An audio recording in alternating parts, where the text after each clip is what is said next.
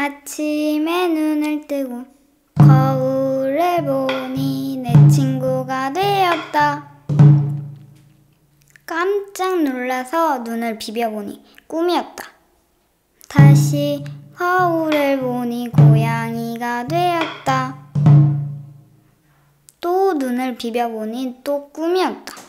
거울을 다시 보니 진짜 내가 되어 있었다. 그러니까 꿈의 꿈이었다.